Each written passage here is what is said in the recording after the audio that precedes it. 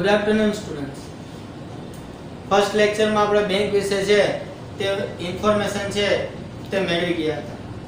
I hope કે તમે લોકો બેંકે છે તે ગયા હશો. અથવા તો બેંક વિશે થોડી ઘણી ઇન્ફોર્મેશન તમારા ફાધર તરફથી મેળવેલી હશે. તો બેંકે આપણે જાય છે કામ?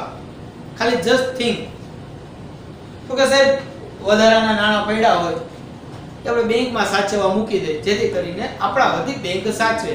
રિસ્ક ઓછું. રિસ્ક છે તે ઓછું થઈ જાય છે. બેંક આપણા બધી નાણાં છે સાચવી લે છે, બીજું કાંઈ નહીં સર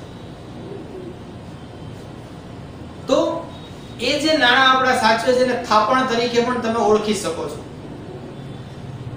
તો બેન્કિંગ સેક્ટરની આપણે જે ચર્ચા કરીએ તો આપણે ખ્યાલ છે કે સૌથી પહેલા આરબીઆઈ આવે. આરબીઆઈ માંથી અલગ અલગ વેપારી બેંક કોઓપરેટિવ બેંક ને બધી બેંક છે એની શરૂઆત કરવામાં આવે. તો આ જે બેંક છે, એનો અર્થ શું? બેંકનો અર્થ. તો તમે જોઈ શકો છો પહેલો અર્થ, બેંકનો. જો આ જે વર્ડ છે, એ તમારે સેમ ટુ સેમ લખવા પડે. એમાં તમારા ઓન થિંકિંગ ન ચાલે. કારણ કે આ જે ડેફિનેશન હોય, એ લીગલી આપેલી હોય. જેમ કે ફર્સ્ટ છે તે આરબીઆઈ દ્વારા અપ્રુવલ છે. કે મંગાવવામાં આવે એટલે કે તરત જ. જો શબ્દ રચના પહેલા સમજો તરત જ કે નિર્ધારિત મુદ્દતના અંતે પરત કરવાની શરતે ધિરાણ કરવાના હેતુથી જે બચત છે તે એકત્ર કરતી સંસ્થા એટલે બેંક. એનો મતલબ એમ કે તમે તમારા ખાતાની અંદર 1 લાખ રૂપિયો ભરેલો છે. હવે તમે મગાવો છો બે દિવસ પછી, માનો કે તારીખ પહેલી, તમે 1 લાખ રૂપિયો તમારા ખાતામાં ભર્યા, એટલે કે જમા કર્યા. હવે ત્રીજી તારીખે તમારે 20000 રૂપિયા જોઈએ છે. એટલે તમે મગાવ્યા. તમે બેંકમાં જાઓ, ચેક લખો સેલ્ફનો, તમને 20000 તરત જ આપે. એટીએમથી ઉપાડો, તરત જ પૈસા તમને મળી જાય. મતલબ શું થયો? મંગાવવામાં આવે એટલે તરત જ નિર્ધારિત મુદતના અંતે અમુક રૂપિયાની લિમિટ હોય કે તમે સેમ ડે તમે 1 લાખ રૂપિયા નો ઉપાડી શકો.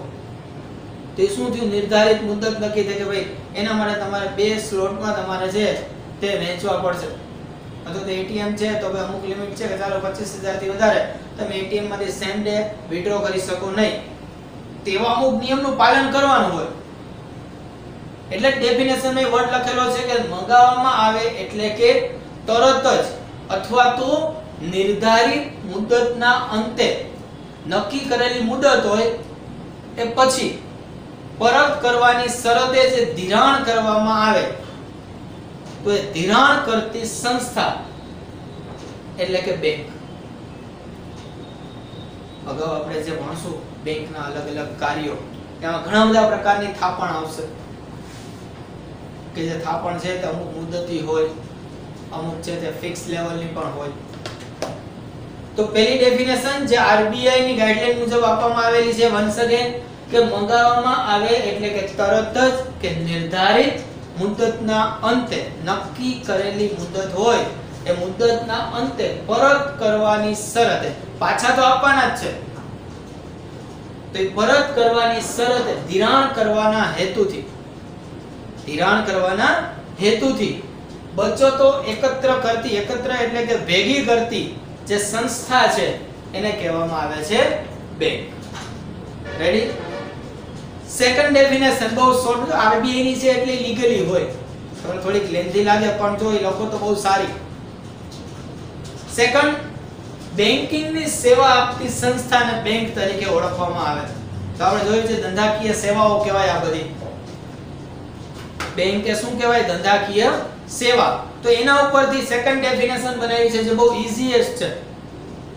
કે બેન્કિંગની સેવા આપતી સંસ્થાને બેંક કહેવાય છે. કેની સેવા? બેન્કિંગની સેવા આપતી સંસ્થા. બેન્કિંગની સેવા આપતી સંસ્થાને શું કહેવામાં આવે છે? બેંક તરીકે ઓળખવામાં આવે છે. આ વ્યાખ્યા લખો તો પણ 100% સાચી જ છે. આરબીઆઈ મુજબ લખો તો પણ સાચી જ છે. પણ જો પરીક્ષામાં તમને પૂછે કે આરબીઆઈ મુજબ વ્યાખ્યા લખો,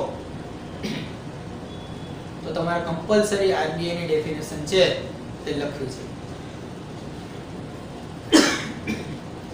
થર્ડ ડેફિનેશન જો કોઈ પણ જે સેવા છે, એનું ઇન્ટેન્શન તો નફાનો જ હોય. આજના સમયમાં તમે સમજી શકો છો કે કોઈ પણ કાર્ય નફા વગર નથી થતું. કોઈ પણ પ્રકારનું કાર્ય છે, તે નફા વગર નથી થતું. બેંકમાં છોકરાઓ નાનામાં નાની વસ્તુ, જેમ કે તમે કદાચ એટીએમ કાર્ડ યુઝ કરતા હોય તો એનો પણ યરલી ચાર્જ લેવામાં આવે છે તમારી પાસેથી. ફ્રી નથી. મતલબ કે તમે પાસબુક કઢાવો છો, એનો પણ ચાર્જ છે ચેક લખો છો, એનો પણ ચાર્જ છે. બેંક સેવા આપે છે, પણ મફત સેવા નથી આપતી. શબ્દ ધ્યાનથી સાંભળજો. બેંક સેવા આપે છે. બેંક સેવા આપે છે, પણ મફત આપતી નથી. Mind it my word bank સેવા આપે છે પણ એ મફત કાઈ આપતી નથી. રેડી તો થર્ડ ડેફિનેશન એના જેવી જ છે કે બેંક એટલે નફાના હેતુથી કાર્ય કરતી એક એવી ધંધાકીય સંસ્થા છે. સેના હેતુથી? નફાના હેતુથી કાર્ય કરતી એક એવી સંસ્થા છે કે જે પ્રજાની બચતો, પ્રજાની જે કંઈ પણ બચત હોય, એ બચતોને થાપણ તરીકે સ્વીકાર કરે છે. જે આપણે પહેલામાં જોયું. જે આપણે પહેલામાં જોયું કે આપણી જે કંઈ પણ બચત છે, એના થાપણ તરીકે બેંક શું કરે છે? સ્વીકાર કરે છે કે ચાલુ ખાતું, બચત ખાતું રિકરિંગ ખાતું ફિક્સ ડિપોઝિટ આ ખાતા તરીકે આપણી જે બચત છે, તે બેંક સાચવીને રાખે છે. તો વન્સ અગેન બેંક એટલે નફાના હેતુથી કાર્ય કરતી એક એવી ધંધાકીય સંસ્થા છે કે જે પ્રજાની બચતો જે છે જે થાપણ છે, જે બચત છે, એને સ્વીકાર કરે છે. શું કરે છે? સ્વીકાર કરે છે. અને વિદ્યાર્થી મિત્રો બદલામાં શું આપે છે? વ્યાજ આપે છે. શું આપે છે? વ્યાજ આપે છે. કોઈ પણ બી સંસ્થા હોય બેન્કિંગની એ તમને વ્યાજ તો આપશે જ. હા, વ્યાજના દર અલગ અલગ હશે. વ્યાજના દર કેવા હશે? અલગ અલગ હશે. સરકારી બેંકમાં અલગ હોય, પ્રાઇવેટ બેંકમાં અલગ હોય કોઓપરેટિવ બેંકમાં અલગ હોય. બધા બેંકના પ્રકાર છે, જેના વિશે આપણે ભણશું. અને અમુક લોકોને ખ્યાલ હશે આ બધા પ્રકાર વિશે. બધામાં વ્યાજના દર અલગ અલગ છે. થોડો ડિફરન્સ છે. પણ નિયમ શું? બેંકની ડેફિનેશન શું? તો કે નફાનું કામ કરે છે. શેનું કામ કરે છે? નફાનું. નફો મળવો જોઈએ. એનો કે બેંક એટલે કે નફાના હેતુથી કાર્ય કરતી એક એવી ધંધાકીય સંસ્થા કે જે પ્રજાની બચત છે, જે થાપણ છે, એનો સ્વીકાર કરે છે અને બદલામાં છે શું આપે છે? વ્યાજ આપે છે. એને કહેવામાં આવે છે બેંક તો આ ત્રણ ડેફિનેશન છે. કોઈ પણ એક ડેફિનેશન તમે લખી શકો છો. હવે આવે છે મહત્વની ચર્ચા. કે આપણા અર્થતંત્રની અંદર બેંક શું કાર્ય કરે છે? ત્રણ ડેફિનેશન આપણે જોઈ કે ભાઈ વન્સ અગેન રિપીટ કે માંગવામાં આવે એટલે કે તરત જ કે નિર્ધારિત મુદતના અંતે પરત કરવાની શરતે જે ધિરાણ કરવાના હેતુથી જે બચતો એકત્ર કરતી જે સંસ્થા છે એને આપણે બેંક કહીએ છીએ, વાત સાચી. સેકન્ડ કે બેન્કિંગની સેવા આપતી જે સંસ્થા છે, એને પણ આપણે બેંક તરીકે ઓળખીએ છીએ. એન્ડ થર્ડ વન કે બેંક એટલે કે નફાના હેતુથી કાર્ય કરતી એક એવી ધંધાકીય સંસ્થા કે જે પ્રજાની જે બચતો છે, એ બચતોને એક થાપણ તરીકે સ્વીકાર કરે છે અને બદલામાં શું આપે છે? વ્યાજ આપે છે. તેને કહેવામાં આવે છે બેંક. રેડી હવે બેંક અને અર્થતંત્રને શું સંબંધ છે? મહત્વનું છે. તો બેંક દ્વારા અર્થતંત્રની અંદર નાણાંની છે તે હેરફેર થાય છે સમજો આજે તમે કોઈ વેપારી છો, બોમ્બેના વેપારીને લાખ રૂપિયો દેવાનો છે, તો તમે સમજો તમે બેંક દ્વારા જ આપશો. તમે શેના દ્વારા આપશો? બેંક દ્વારા જ આપશો. કલકત્તાથી કોઈ વેપારીને, રાજકોટના વેપારીને છે તે પૈસા આપવાના છે, તો બેંક દ્વારા જ આપશે તો બેંક છે શું કરે છે તો કે આપણા અર્થતંત્રની અંદર નાણાંની હેરફેર કરે છે. નાણાંની ફેરબદલી કરે છે. તો નાણાંની હેરફેર કરતી જે સંસ્થા છે એ પણ એક બેંક છે. બીજા શબ્દમાં કહીએ તો તમે સમજી શકો છો કે બેંક શું કરે છે? તો કે જે નાણું છે ને, જે પૈસા છે ને, એ પૈસાને ફરતું રાખે છે સમજો જો સ્થિર નાણું કાંઈ કામનું નહીં. પાંચ લાખ રૂપિયા તમે લોકરમાં મૂકી દો ઘરની અંદર. એક વર્ષ પછી બહાર કાઢજો, કેટલા રૂપિયા નીકળશે?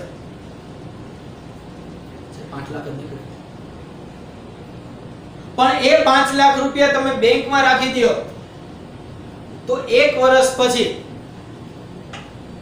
એક વર્ષ પછી મિનિમમ સાડા છ, સાત ટકા લેખે એનું વ્યાજ તો આવશે જ.